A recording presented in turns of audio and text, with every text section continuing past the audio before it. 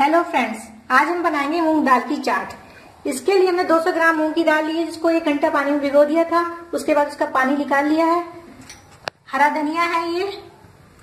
दो हरी मिर्चा जो बारीक काट ली है, दो चम्मच घी है। आधा चम्मच नमक है, नमक अपने स्वादानुसार लें। आधा चम्मच हल्दी पाउडर है। आधा चम्मच लाल मिर्च पाउडर है। काली मिर्च और जीरा पाउडर है, जो भून के हमने पीस लिया है। ये दो पिंच में सोडा लूँगी, खाने वाला सोडा है ये, आधा चम्मच, काला नमक है, आधा नींबू है और ये गरम मसाला है, आधा चम्मच। अब ये घी है, कढ़ाई में मैं एक चम्मच घी डाल दूँगी।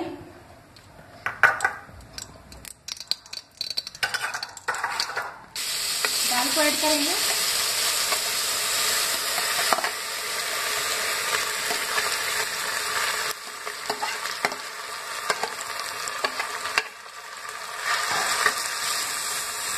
इसमें मैं पानी डालूँगी। अगर एक कटोरी दाल ले रहे हैं आप तो तीन कटोरी पानी डालें। ताकि हमारी दाल अच्छे से गल जाए।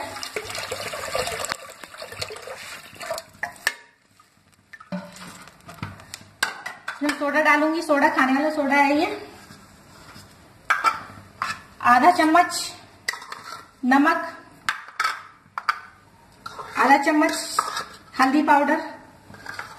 ये सब डाल के इसको हमको 20 मिनट पकाना है। मीडियम फ्लेम पर 20 मिनट हम इसको पकाएँगे, उसके बाद हम चेक करेंगे।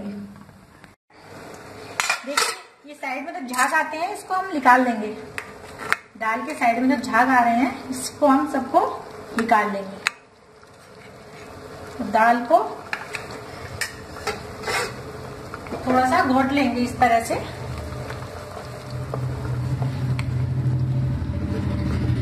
हमारी दाल बन के तैयार होने वाली है। इसको एक मिनट और हम पकने देंगे।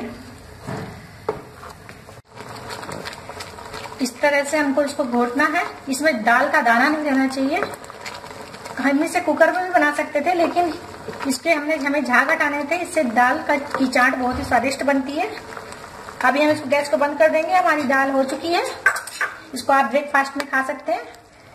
इस कटोरी में करूँगी मैं इसको।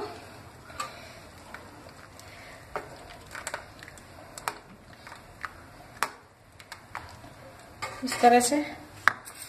हम नमक पहले भी डाल चुके हैं इसलिए नमक थोड़ा डालेंगे, काला नमक, थोड़ा सा गरम मसाला, काली मिर्च और भुना जीरा, लाल मिर्च लाल मिर्च आप अपने टेस्ट के अनुसार लें। थोड़ी सी हरी मिर्च, नींबू का रस और ऊपर से आप बटर या घी कुछ भी डालें। एक चम्मच। इसके बाद ऊपर से थोड़ी सी धनिया पत्ती। दाल चाट बनकर तैयार है। आप इसे ट्राई कीजिए हमारी वीडियो को सब्सक्राइब कीजिए। हम मिलते हैं अगली वीडियो में। Thank you.